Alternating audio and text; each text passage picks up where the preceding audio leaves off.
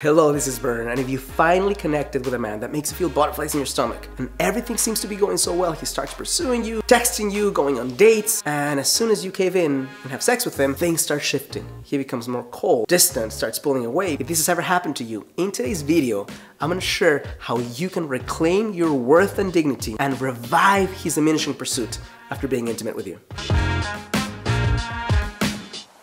Hello, this is Bern. Welcome to another edition of BernMendez.com. If this is your first time here and you'd like to learn how you can attract your ideal life partner without the need for gimmicks, manipulation, games, or silly techniques, make sure to hit the subscribe button right now so you can be notified of new episodes as they come out. I'm gonna start by sharing a formula with you that can make the biggest difference in your capacity to never have this experience happen again. And that formula is this chemistry which is that feeling of intangible vibe and attraction towards somebody else, plus emotional connection, which means depth, conversations, friendship, plus high worth on your part, meaning you're someone who not any guy can get you because you have standards and you have boundaries. If you get those three components and you multiply them through time and you have sex, the most likely scenario is a healthy committed attachment. If you start messing with these factors, for example, there's chemistry and there's not enough emotional connection, uh, he doesn't get a chance to necessarily feel your boundaries because you're having sex with him early on, and there's not enough time, what happens is an attachment of the unhealthy kind, maybe from you, maybe from him, Maybe there's an attachment from you, but there's an unattachment from him. So what you want to do, if you're starting fresh, if you're not in the middle of a situation that has you anxious about why the guy's pulling back, but you want to prevent it from happening again, preventing is way easier than repairing. The way you prevent it from happening is don't have sex the guy until you're exclusive with him. And don't be exclusive with him until you get some level of understanding on the ground based on actions, not just promises and words and feelings about who he really is. So good rule of thumb, some of you might want to punch me after I say this, but I wouldn't suggest being exclusive exclusive with a guy before you get the three month mark. And the reason for that is because there's gonna be things that you see in month number two and month number three that you wouldn't see initially because the hormones are so high that you might be blinded by that feeling of intensity. And when the hormones start waning down and you get a chance to see more of who he is and his values and his virtues and his flaws, then you can make a better decision if you want to open your heart and soul and body to a guy that is or isn't compatible with you. What happens if you're in the middle of a situation where, yeah, you feel attached to him and he had sex with you and now he's playing games or he's playing hot and cold or he feels somewhat pulling away.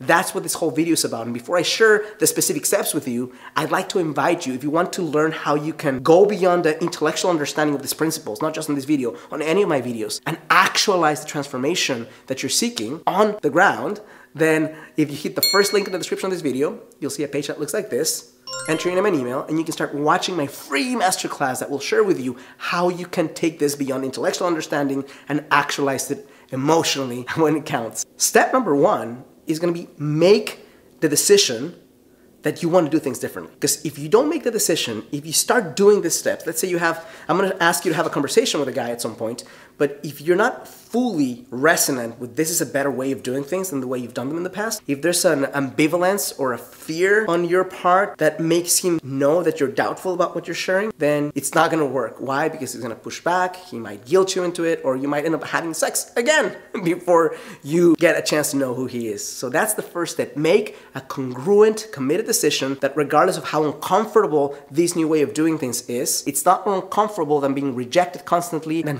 feeling alone and that feeling like men don't respect you. Now, this process that I'm sharing with you works 100% of the time, and here's why. Because when you do this from a place of congruence and worth, you will either get the guy that you're connecting with to step up massively and do things differently than he has in the past, or you will understand that he's not the type of guy who acts in an honorable way, which means you don't want to connect with a guy who on paper seems great, but in reality is less than you expect. So you'll either have his pursuit reignited or the recognition that you shouldn't be wasting your time with him, and either way, you win. Step number two is lean back. If you started to feel needy, if you started pursuing him, if you started messaging him, if you started saying things that are making him pull away, take a step back and decide two things. Number one, you're not gonna be exclusive with him. And if he wants to do this, he's gonna have to do it differently. So you will lean back. When he messages you, you will need to have a conversation with him. You will need to confront the situation in a healthy, non-needy way that allows him to make a decision as to what he wants to do, which is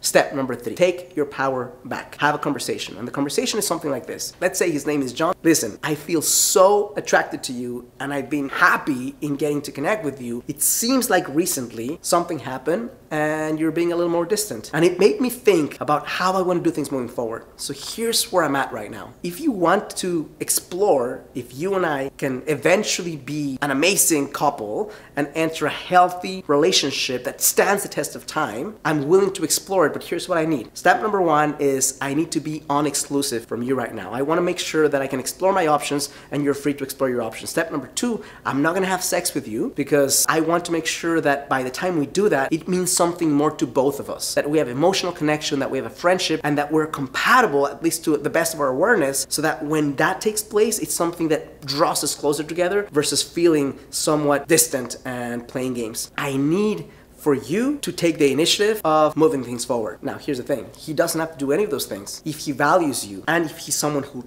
genuinely wants a lifelong relationship with someone, he wants to explore that, then he might be taken aback, but he might be willing to say, you know what? I'm willing to do it. Now, he could say in that moment, I can't do it until we're, unless we're exclusive right now and let me prove this to you. The only way at this point for him to prove it to you is if he's willing to invest on exclusively in figuring out if both of you can be a great couple. Now, what will happen is he he will either start stepping up more, start asking you on dates, being respectful, or you will see that he only wants to do it his way, and his way is intimacy first and figuring out if you're compatible later, which I'm sharing from experience of helping hundreds of women around the world get what they want. It doesn't work for the most part if you do it that way.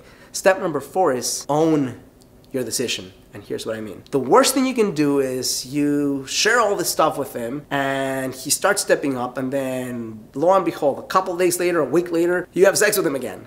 So then that means that everything you shared with them was BS. Everything you shared with them was basically words versus action. If you genuinely take the steps of being congruent with your actions after you share this with him, you'll see if he gets a chance to step up and pursue you. And if he doesn't, guess what? You can move on and from the beginning, do things differently with the next guy. Hope this is helpful useful and insightful. If it is, I'm gonna ask you to do one thing. Go to the first link in the description of this video, click on that link so you can start watching my free training to take this learnings to the next level. If you enjoy this video, click like or thumbs up, subscribe to my channel. When you hit the little bell, you'll be notified of new episodes as they come out. And last but not least, if you're listening to me right now, you've heard my pitch and other people's pitches, but you're still not getting the result that you want, you might highly benefit from specific hand holding and from insights that are more specific to you. And if you think I might be able to help you, second link in the description of this video will allow you to connect with me and fill out an application. If we're a good fit, I'll reach back and share with you how we might be able to work together. Thank you so much for connecting with me. Thank you so much for raising your worth. Thank you so much for being willing to do things that are uncomfortable,